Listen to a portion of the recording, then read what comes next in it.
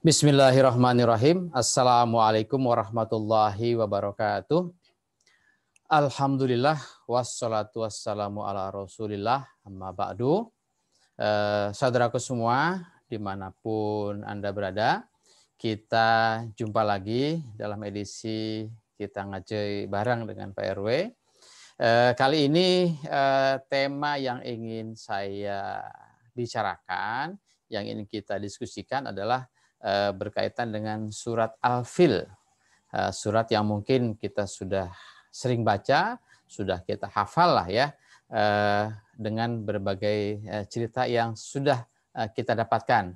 Namun kali ini saya ingin menyampaikan tambahan wawasan buat kita semua. Semoga bermanfaat. Saudaraku semua, sebelum saya lanjutkan barangkali Eh, Bapak Ibu Anda semua eh, yang menyaksikan eh, siaran ini mungkin untuk lebih memperluas pengetahuan kita dan juga ingin menyebarluaskan informasi yang kita dapatkan kalau dianggap baik dianggap bermanfaat silahkan like and share channel ini agar bisa di nikmati agar bisa dimanfaatkan oleh uh, halayak luas. Uh, terima kasih sebelumnya. Uh, hadirin sekalian, kita coba untuk membuka surat Al-Fil ya yang sering kita baca, yang sering kita pelajari. Nah, saudaraku semua, surat Al-Fil terdiri dari lima ayat yang kita kenal atau yang kita uh, tahu ini adalah surat yang tergolong kepada surat uh, makiyah. Surat makiyah itu surat yang diturunkan uh, sebelum Nabi hijrah di awal-awal dakwah uh, kerasulan Nabi Muhammad SAW. Saudaraku semua, di surat Al-Fil itu disebutkan Ya, kita baca uh, ayatnya. Bismillahirrahmanirrahim.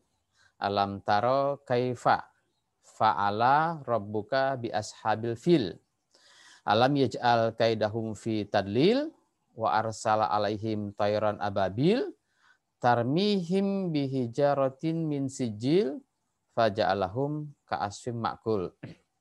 Saudaraku semua, pada uh, surat ini Eh, yang kita pahami selama ini, yang kita tahu selama ini, bahwa eh, surat ini bercerita soal eh, pasukan gajah bertempur atau melawan pasukan Toyoron Ababil. Nah, selama ini ada kisah yang kita dengar, yang kita sudah pelajari mungkin sekian tahun yang lalu. Jadi ada pasukan bergajah dari Yaman dipimpin oleh Abraha untuk eh, menyerbu ke Mekah untuk menghancurkan Ka'bah. Namun pasukan gajah itu dikalahkan atau apa namanya ditumpas dimusnahkan oleh eh, pasukan eh, Toiron Ababil yang kita sering dengar dengan sebutan burung ababil. Saudaraku semua, Nanti mungkin kita bisa lebih uh, teliti lagi uh, mengenai surat ini. Yang pertama, alam taro kaifa fa'ala rabbuka bi ashabil fil.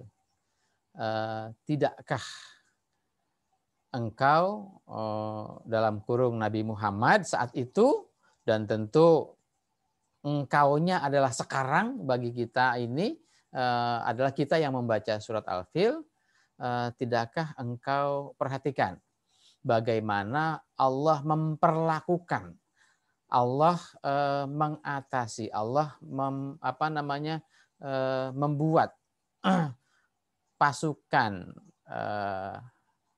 bergajah itu pada masa waktu itu ya.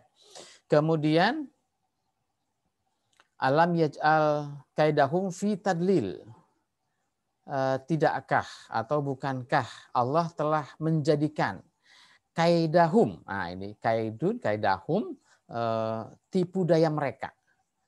Berarti kaitannya dengan penyerbuan pasukan bergajah ini justru yang dihancurkan adalah tipu dayanya. Kaidahum fi tadlil. Tipu daya yang mereka buat itu menjadi sia-sia. Menjadi tidak berguna. Kemudian wa arsala alaihim tayran ababil. Allah mengirim Allah mengutus tayran ababil. Nah gitu ya. Kemudian eh, apa tugasnya tayran ababil? Tayran ababil tugasnya adalah tarmihim bihijarotin min sijil. Ya. Eh, kemudian akibat dari tarmihim bihijarotin min sijil maka faja'alahum ka'asfin makul. Saudaraku semua, eh, kalau kita eh, saat itu eh, pada awal-awal atau menjelang kerasulan apa menjelang kelahiran Nabi Muhammad ada peristiwa alfil eh, sehingga waktu itu tahunnya disebut dengan tahun gajah. Kala itu Raja Abraha dari Yaman ini ingin menyerang Mekah, menyerang Ka'bah, menghancurkan Ka'bah. Kenapa mereka ingin menghancurkan Ka'bah?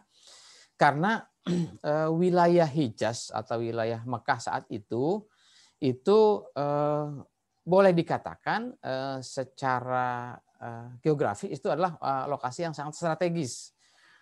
ada pertemuan utara selatan, jalur lintas ekonomi utara dan selatan. Kalau dikisahkan dalam surat Quraisy itu bangsa Quraisy itu melakukan perjalanan bisnis itu dari utara eh, ke eh, selatan ya. Nah, saat itu eh, lokasi Mekah atau Hijaz itu itu karena ada lokasi wisata spiritual ya. Sehingga banyak orang berkunjung ke kawasan Ka'bah itu secara ritual mereka melakukan peribadatan yang mereka lakukan saat itu Eh, sehingga banyak eh, dikunjungi oleh eh, orang dari berbagai wilayah yang datang ke lokasi itu. Kemudian dari kunjungan wisata yang datang ke lokasi itu tentunya mendatangkan nilai manfaat secara ekonomis menjadi lebih baik sehingga kegiatan wisata rohani dan kegiatan ekonomi Eh, ke apa wisata rohani itu mendatangkan keberkahan bagi eh, kegiatan ekonomi dan ini yang menjadi kecemburuan eh, pihak pasukan Abraha dari Yaman itu dari kelompok selatan. Kemudian yang kita tahu bahwa si Raja Abraha itu itu adalah linknya atau orientasinya adalah mereka ke Bizantium atau mungkin eh, saat itu kita sebutnya blok barat. Sedangkan eh, yang namanya eh, perseteruan antara blok barat dan blok timur itu memang sudah ada sejak zaman dahulu. Kalau sekarang blok baratnya siapa dan blok timur siapa, ya sudah kita tahu lah. Kalau dulu ada kelompok Bizantium Romawi dan kelompok Persia. Nah, eh, saudara semua, kalau eh, kita mengukur jarak ya dari eh, Mekah ke Yaman itu, itu eh, kalau di Google itu disebutkan jaraknya 1119 km. Itu kalau di kita di Indonesia itu hampir setara dengan jarak dari Pelabuhan Merak di Banten sampai pelabuhan eh, sampai Kota Banyuwangi di Jawa Timur. Jadi ya hampir sepanjang Pulau Jawa lah eh, jarak eh, tempuhnya. Nah, bagaimana dengan pasukan gajah yang ingin menyerbu dari Yaman ke Mekah dengan jarak tempuh sekitar 1100-an kilometer itu. Nah, saudara semua memang penggunaan uh, pasukan gajah itu dalam peperangan bukan hal baru, bukan hal yang pertama saat itu, tapi memang uh, sudah uh, digunakan oleh manusia itu sejak 4000 tahun yang lalu. Berarti kalau 4000 tahun lalu kira-kira kalau ngukur dari sekarang ya kurang lebih uh, 2000 sebelum Masehi. Ya. Itu di India. Kemudian eh, karakteristik eh, eh, gajah ini itu dia menunjukkan sifat yang memang karena dia itu eh, badannya besar, tenaganya kuat, dan dia bisa dilatih, bisa diarahkan untuk tujuan-tujuan pemanfaatan kepentingan manusia. Dalam salah satu sumber di Sanskrit itu disebutkan ada peperangan yang menggunakan pasukan bergajah juga tentara gajah itu itu sekitar 1100 sebelum Masehi. Kemudian eh, oleh Raja Alexander the Great itu juga eh, gajah-gajah eh, saat itu juga dimanfaatkan ya eh, untuk pasukan eh, peperangan. Eh, Raja eh, Porus ini eh, itu menggunakan pasukan gajah itu sebagai eh, senjata rahasia. Tapi bagi orang-orang India itu bukan rahasia lagi ya karena memang eh, mereka sering memanfaatkan sering menggunakan eh, hewan gajah ini eh, untuk kepentingan berbagai hal. Ya. Saudaraku semua, kalau kita amati itu gajah itu kalau kebutuhan konsumsi makanannya itu sehari bisa bisa 150 kilo kemampuan atau kebutuhan makanannya dia. Kemudian dia bisa eh, minum air itu 40 liter eh, dalam satu hari. Sehingga eh, gajah itu cenderung hidupnya itu di dekat-dekat sumber air karena memang dia hewan yang sangat membutuhkan air. Kalau kita manusia ya kebutuhan air kita setiap hari ya kurang lebih sekitar 2 literan lah ya sesuai dengan berat badan masing-masing kita. Eh, kemudian eh, gajah itu juga hidupnya eh, berkelompok dan dia bisa melakukan perjalanan setiap hari itu antara 10 sampai 20 kilo ya. Tapi kecepatannya ya dengan bobot badan yang berat antara 1 sampai 3 ton itu itu dia punya kecepatan melakukan perjalanan lari itu antara 7 sampai 10 km per jam. Nah, saudaraku semua, kira-kira dengan sifat-sifat gajah seperti itu, mungkinkah eh, gajah itu menjadi kendaraan tempur, kendaraan eh, peperangan untuk eh, bangsa-bangsa eh, zaman dahulu? Ya.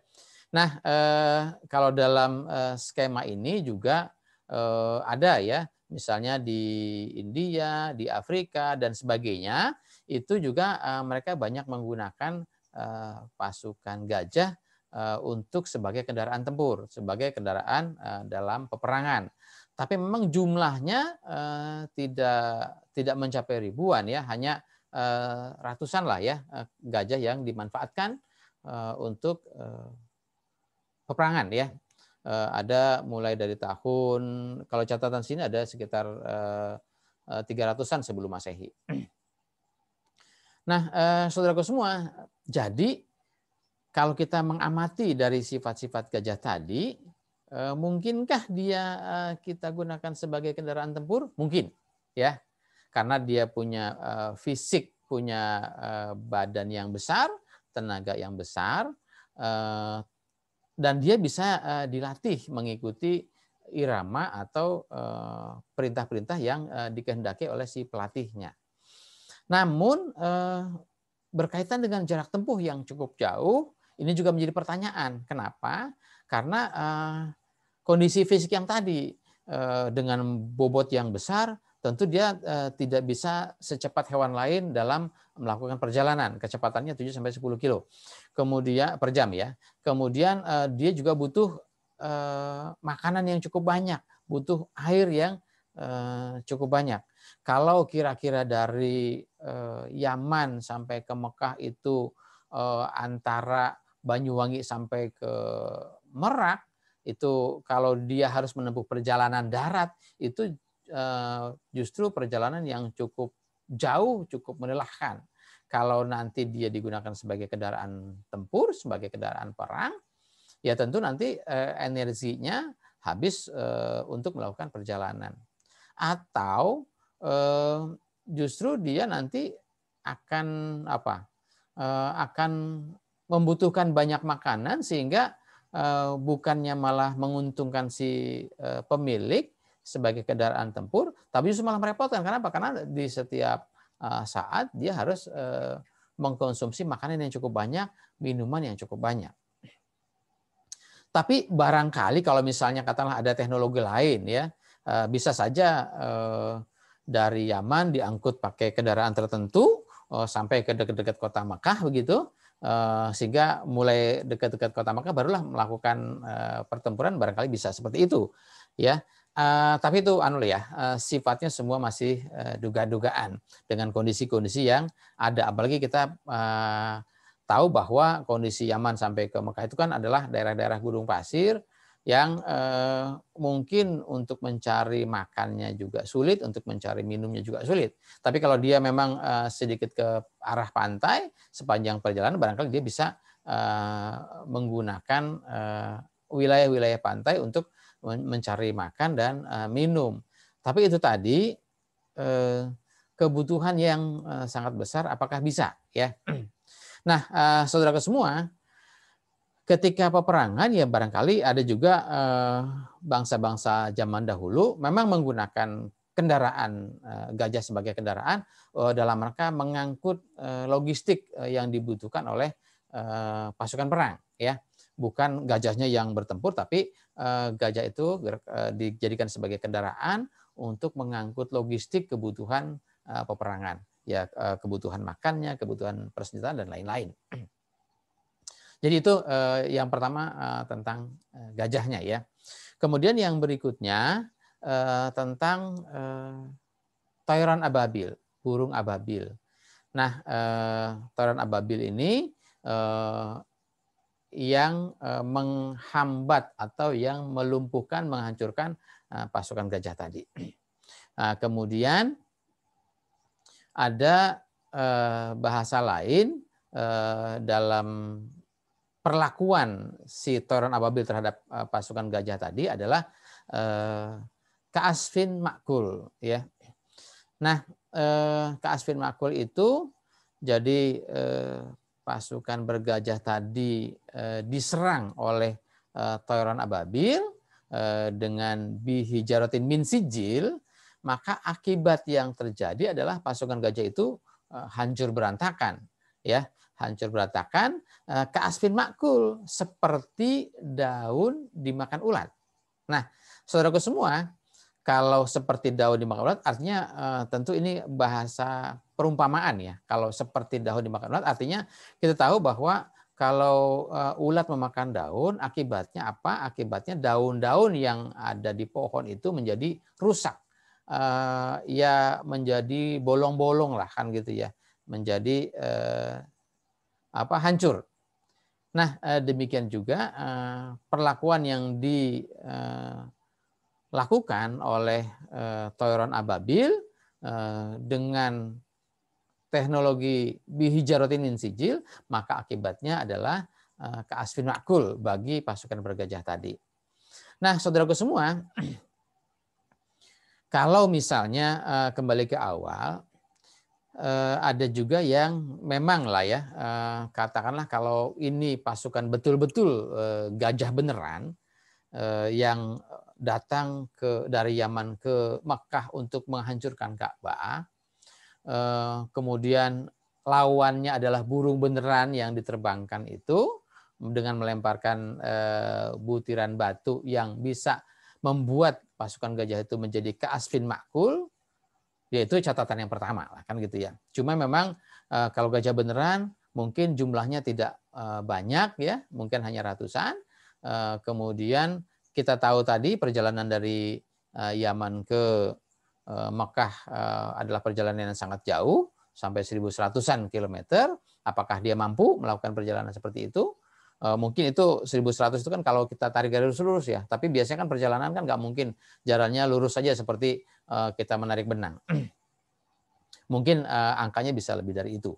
Nah, eh, itu catatan yang pertama. Jadi yang selama ini kita pahami, yang selama ini kita dapat adalah ada gajah sebagai kendaraan perang ingin menghancurkan Ka'bah. Dia datang dari Yaman dengan jarak tempuh 1119 km kalau menurut map. Kemudian eh, nanti gajah itu dikalahkan oleh eh, burung ababil. Nah, catatan yang kedua, eh, apakah memang gajah betulan atau bukan? Nah, eh, biasanya kita juga suka menyebutkan eh, pasukan-pasukan eh, perang itu dengan sebutan nama-nama hewan yang eh, kuat ya. Misalnya katakanlah eh, ada dulu pasukan Siliwangi di eh, zaman penjajahan dulu ya, ketika kita eh, bangsa Indonesia perang melawan eh, melawan Belanda, itu ada pasukan Siliwangi. Pasukan Siliwangi itu kan artinya harimau ya, singa. Nah kalau misalnya disebutkan pasukan Siliwangi, apakah yang dikirim itu harimau? Kan itu bukan ya. Cuma memang karena melambangkan hewan yang sangat kuat, eh, hewan yang gagah, maka dilabelinlah, dinamainlah pasukan itu sebagai pasukan Siliwangi, pasukan harimau.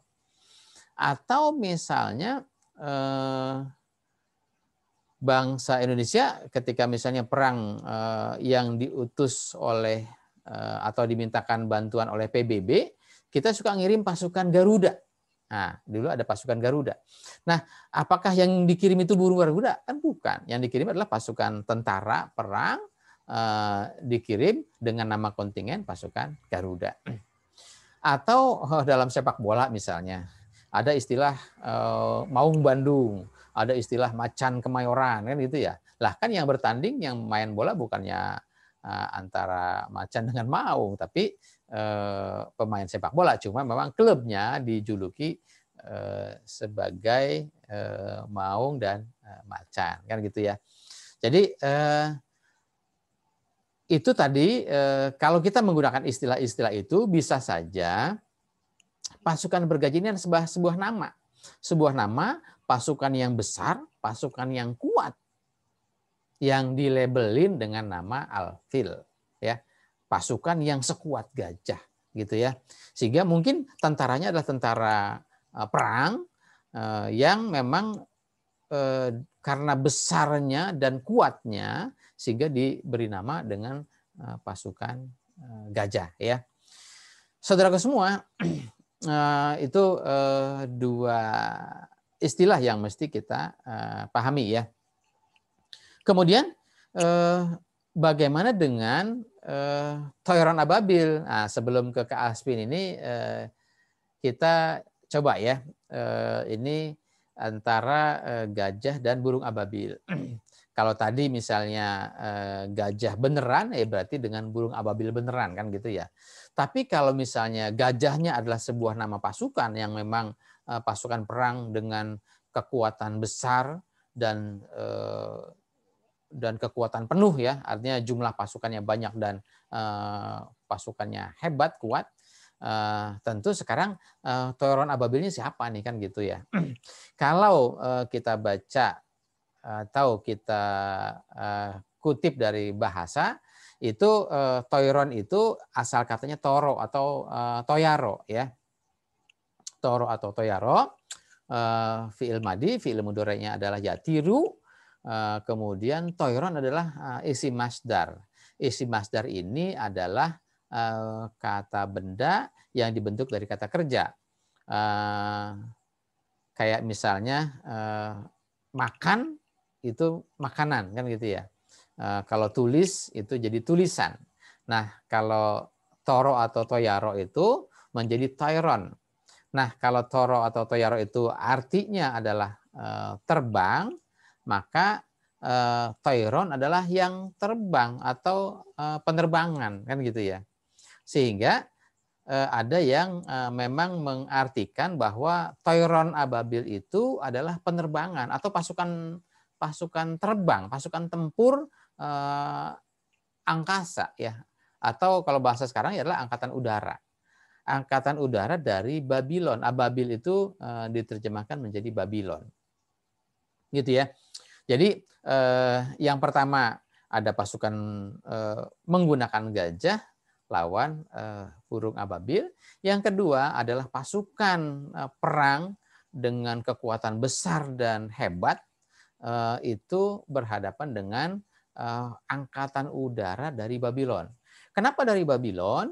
Itu tadi karena uh, Abraha ini dari Yaman. Yaman itu uh, orientasinya kepada uh, apa namanya Bizantium atau Romawi dari blok barat. Kemudian uh, yang kita kenal dulu Babylon itu adalah di daerah uh, Persia lah ya, uh, Iran Irak itu.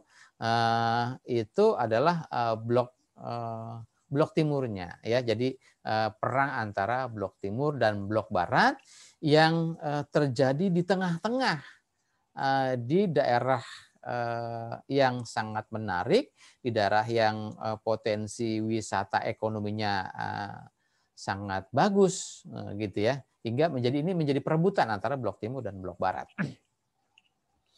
Kemudian kita kembali lagi. Jadi kalau misalnya pasukan tempur yang hebat, yang kuat dikalahkan oleh pasukan udara dari Babylon, maka bihijarotin e, min sijilnya itu apa kan gitu ya. Nah, eh, kalau eh, yang mengakibatkan keasfin makul, yang mengakibatkan eh, pasukan perang itu kalah dan eh, compang-camping kayak eh, daun dimakan ulat. Nah, kalau saya menerjemahkannya bisa saja itu senjata kimia, ya. Kalau dalam beberapa catatan dalam perang dunia itu mulai dari perang dunia ke satu, perang dunia kedua dan seterusnya itu banyak pasukan perang yang menggunakan senjata senjata biologi atau senjata kimia untuk melumpuhkan lawannya ya. Nah, yang terakhir adalah penggunaan senjata kimia itu di eh, perang Teluk ya waktu itu perang Iran Irak itu eh, mengakibatkan pasukan-pasukan yang terkena senjata kimia itu itu eh, kulitnya mengelupas ya. Kayak kulit terbakar gitu ya. Sehingga eh, banyak pasukan-pasukan yang eh, lukanya seperti luka bakar lukanya berat ya.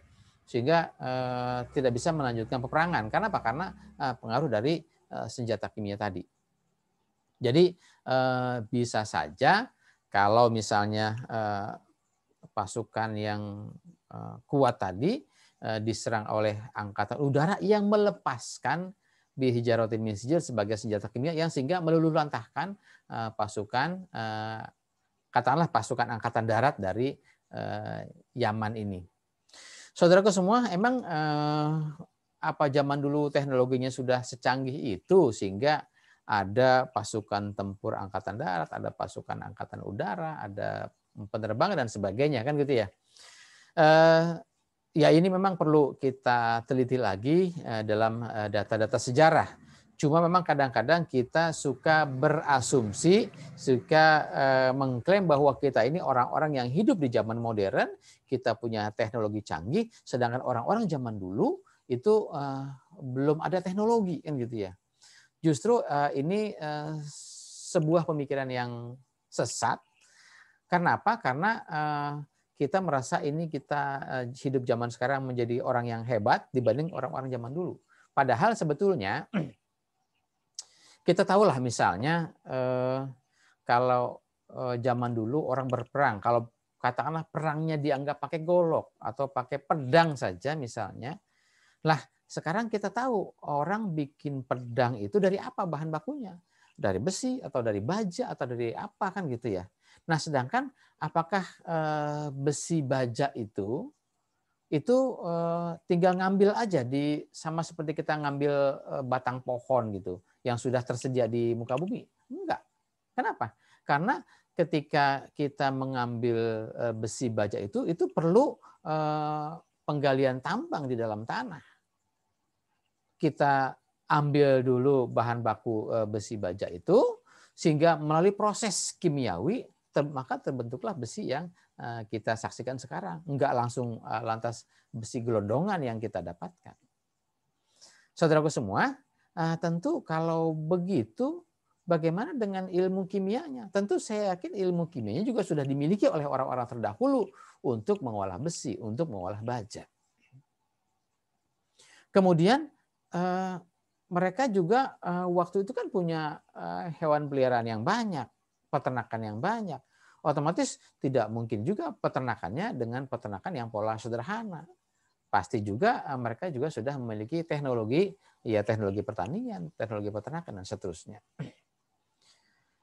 Atau misalnya eh, kita kenal lah ya, kita eh, tahu bahwa zaman-zaman kerajaan zaman dahulu, ya mungkin tahun-tahun sebelum Masehi, raja-raja zaman dahulu juga mereka suka menimbun harta karun yang eh, harta itu berupa emas berlian. Nah, emas itu apakah memang sudah eh, ada di muka bumi ini secara tergeletak sehingga mudah saja orang mendapatkan emas, kemudian eh, dibentuk menjadi aneka rupa barang perhiasan? Tentu tidak. Emas itu itu harus melalui proses penggalian eh, di batuan-batuan yang mengandung emas. Dan tidak semua batuan mengandung emas. Ada batuan-batuan tertentu yang mengandung emas, batuan-batuannya ditambang, diambil, kemudian nanti diproses eh, dengan kimia tertentu. Sehingga eh, yang emasnya bisa bisa menyatu, bisa berkumpul. Jadi itu juga membutuhkan ilmu kimia. Dan ilmu kimia tidak bisa berdiri sendiri tanpa ilmu-ilmu yang lain pasti juga orang mau menguasai ilmu kimia mereka juga pasti mempelajari ilmu matematika dan lain-lain. Saudara semua, misalnya eh, bukti sejarah yang sangat autentik yang mungkin tidak bisa terbantahkan, misalnya kalau di Indonesia ada eh, Candi Borobudur misalnya. Candi Borobudur itu dibangun eh, abad ke-8 Masehi. Nah, kita ini abad ke-21, berarti sudah 13 abad yang lalu. Tapi kita tahu bahwa eh, bangunan itu hingga saat ini sudah 13 abad yang lalu masih berdiri kokoh. Masih eh, apa namanya? bangunan yang kuat. Tentu eh, tidak apa namanya? tidak semata-mata orang simsalabim bikin candi Borobudur tapi pastinya menggunakan arsitektur yang bagus, tenaga sipil yang hebat, tentu arsitektur dan tenaga sipil ini apa namanya teknik sipilnya pasti membutuhkan rangkaian ilmu-ilmu yang lain. Atau oh, mundur lagi jauh ke belakang, misalnya eh, yang masih menjadi eh, bukti sejarah, misalnya piramida di Mesir. Piramida itu dibangun kira-kira 2500 sebelum Masehi. Nah, 25 abad sebelum Masehi Berarti kalau dihitung dari sekarang itu sudah 4.500-an atau ya katakanlah 45 sampai 50 abad ya.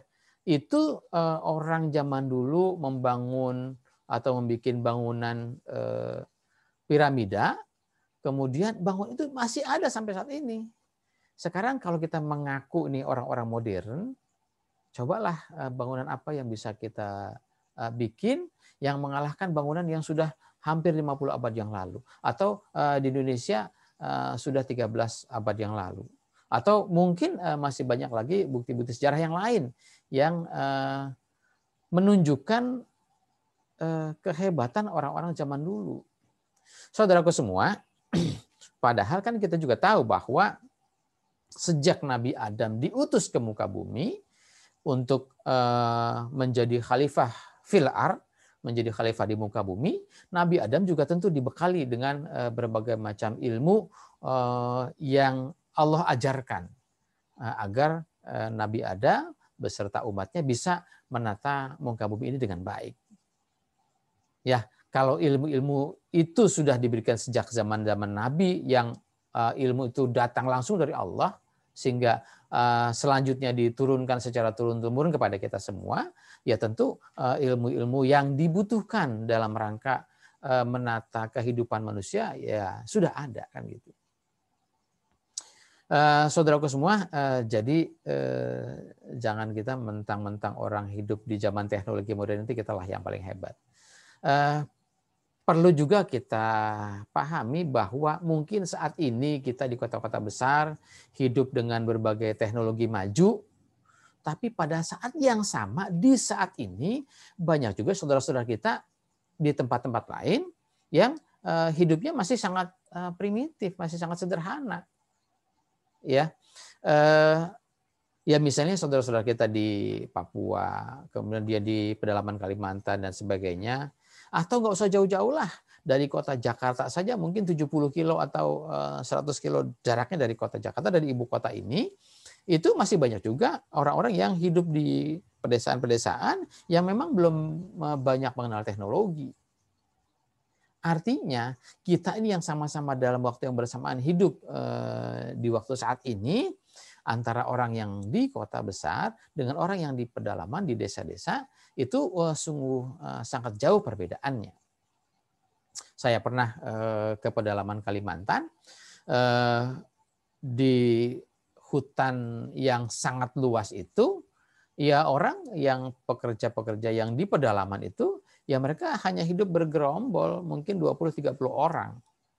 Eh, ya mereka hanya menikmati makanan yang ada dengan ya mungkin apa namanya Eh, cara mengolah makanannya, kemudian eh, kegiatan eh, mandi dan lain-lain juga sangat ya sangat sangat sederhana lah kan gitu ya. Artinya kita sama-sama hidup di zaman sekarang, satu sisi ada yang sudah berteknologi maju, di sisi lain masih sangat terbelakang. Saya yakin Eh, zaman dahulu pun juga begitu.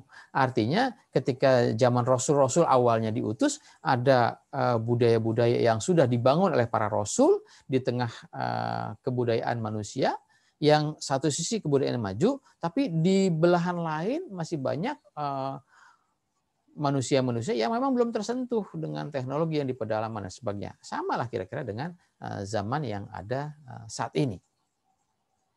Jadi tidak mustahil kalau eh, zaman dahulu sudah ada eh, pasukan tempur angkatan darat yang hebat, kemudian dilawan oleh eh, pasukan udara yang juga tidak kalah canggihnya dengan berbagai teknologi, termasuk salah satunya adalah senjata kimia. Saudaraku semua, itu kira-kira lah ya gambaran yang memang mesti kita telaah lagi, mesti kita kaji lagi data-data kebenarannya ya. Eh, namun eh, itu tadi saya katakan bahwa kita jangan merasa bahwa kita ini hidup di zaman modern, kita lah yang paling hebat dengan mengesampingkan orang-orang zaman dahulu yang seolah kita anggap orang-orang primitif. Padahal orang-orang zaman dulu juga mereka sudah meninggalkan bukti-bukti sejarah yang hingga saat ini Eh, sudah hampir 50 eh, abad masih berdiri kokoh sebagai bukti sejarah kepada kita eh, anak keturunannya. Saudara semua, jadi kembali kepada surat Al-Fil tadi, bisa saja ini pertempuran antara pasukan gajah dan pasukan burung ababil. Kemudian yang kedua bisa saja ini gajah sebagai sebuah nama saja yaitu pasukan angkatan darat yang eh, besar dan kuat berhadapan dengan pasukan angkatan udara dari Babilonia yang menggunakan teknologi eh, pertempuran salah satunya adalah senjata kimia. Nah, eh, saudaraku semua, nah sekarang ya itu data-data tadi silakanlah kita kaji lagi, kita telaah lagi. Yang terpenting adalah ketika surat Al-Fil ini turun kepada Nabi Muhammad, buat apa kan gitu ya? Nabi Muhammad apakah cukup uh, diberikan uh, surat Al-Fil ini sebagai uh, pengetahuan sejarah saja atau memang ada maksud di balik lain atau ada hikmah atau ada ilmu atau ada petunjuk yang memang harus uh, direkam diambil untuk eh, diaplikasikan. Kita tahu bahwa Al-Quran ini adalah hudal linnas, adalah hudalil mutakin. Ini petunjuk buat seluruh manusia, petunjuk buat orang yang ingin bertakwa. Nah, eh, surat Al-Fil ini menjadi petunjuk apa? Apakah cuma menjadi catatan sejarah doang atau memang ada petunjuk lain atau ada hikmah lain atau ada ilmu yang ingin eh, diwujudkan?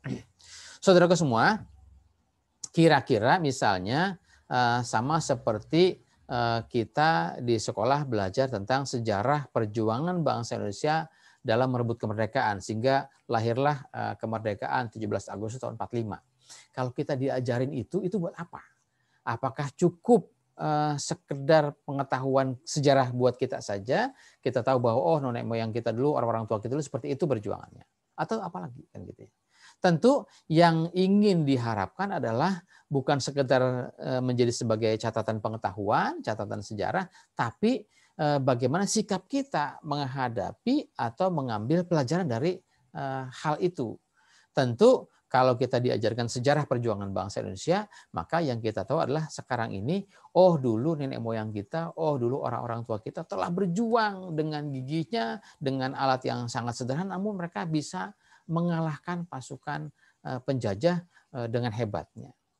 Walaupun bahasanya dengan bambu runcing, mereka bisa mengalahkan pasukan atau eh, apa namanya kendaraan tank, kan gitu.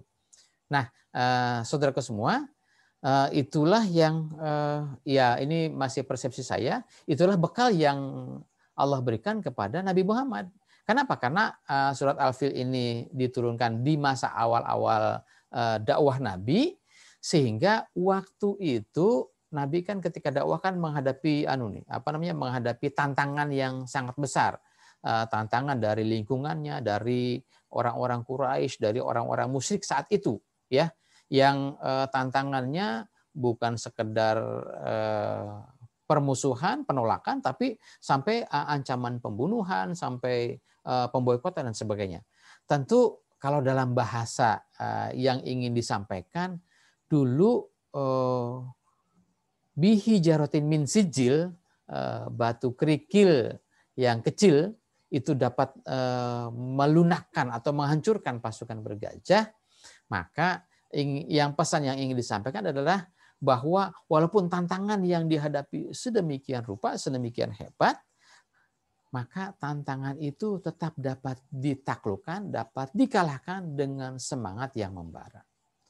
Tentu dengan bihijarotin yang harus dimiliki oleh uh, Rasul uh, untuk melumpuhkan, untuk mengalahkan tembok-tembok raksasa yang membentengi dakwah uh, Nabi itu.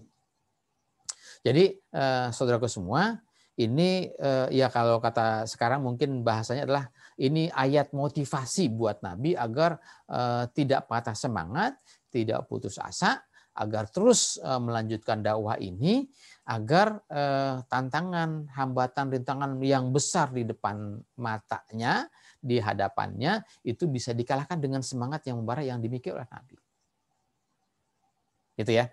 Eh, nah, saudaraku semua, kalau eh, Nabi eh, mendapat pelajaran, mendapat petunjuk seperti itu, nah sekarang bagaimana surat Al-Fil kepada kita? Nah, tadi kan pertanyaannya adalah alam taro kaifa fa'ala rabbuka bi ashabil fil. Alam taro. Alam taro itu ditujukan kepada anta, kepada kamu Nah, kalau kamu dulunya yang eh, menerima ayat ini adalah Nabi Muhammad, kamunya kepada Nabi Muhammad, selanjutnya kamunya adalah kepada eh, sahabat-sahabat Nabi dalam eh, melanjutkan dakwah itu. Nah, sekarang kamunya adalah kita. Kamu yang membaca Al-Qur'an ini, yang membaca surat Al-Fil ini. Maka kamu harus mengambil pelajaran, kamu harus mengambil petunjuk dari surat Al-Fil ini untuk apa? Untuk Eh, sebagai motivasi dalam berdakwah, sebagai motivasi dalam mengembangkan ajaran agama ini.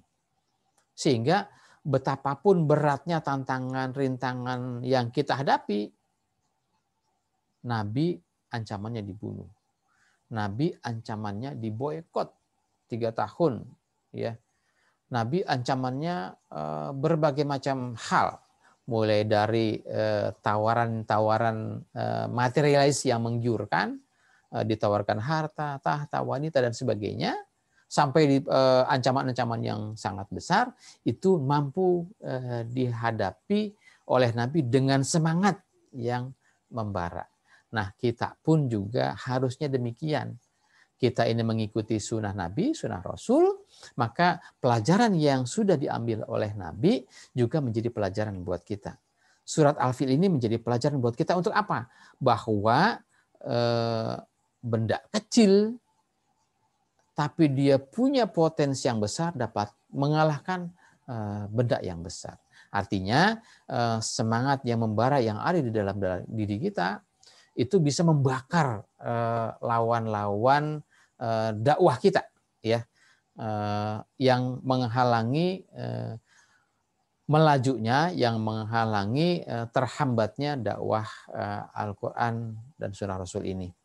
Saudaraku semua, zaman ini kita berdakwah memang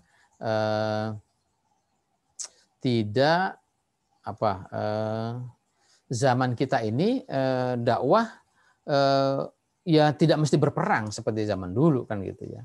Nah, kita eh, bisa memanfaatkan bihijaratin min sijil yang ada pada zaman ini apa?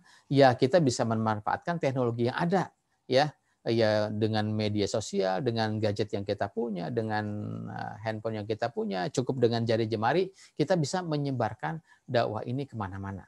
Ini eh, walaupun hanya lewat jari jemari saja, tapi kita bisa eh, membuat eh, pola pikir orang eh, bisa menaklukkan alam pikiran orang. Sehingga yang tadinya bersikap negatif kepada kita, yang tadinya a priori berburuk sangka kepada dakwah Al-Qur'an ini, maka dengan gencarnya kita melakukan dakwah ini dengan semangat yang tentunya dengan semangat yang tinggi dengan berbagai media yang bisa kita manfaatkan untuk menyampaikan dakwah ini Eh, mudah-mudahan itu semua menjadi atau eh, berbalik ya eh, semuanya dapat kita lumpuhkan, dapat kita taklukkan seperti halnya Toyoron Ababil bihijratin min sijil dapat menaklukkan ashabil fil.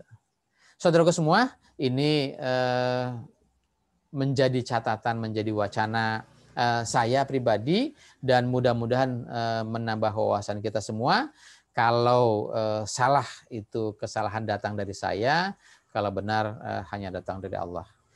Mudah-mudahan bermanfaat dan tentu kita harus mengkaji lagi data-data yang ada dalam Al-Quran, yang disajikan dalam Al-Quran, untuk kita menggali lagi, menggali lagi, agar Al-Quran yang kita pelajari menjadi bermanfaat, menjadi petunjuk buat kehidupan kita Eh, sehari-hari.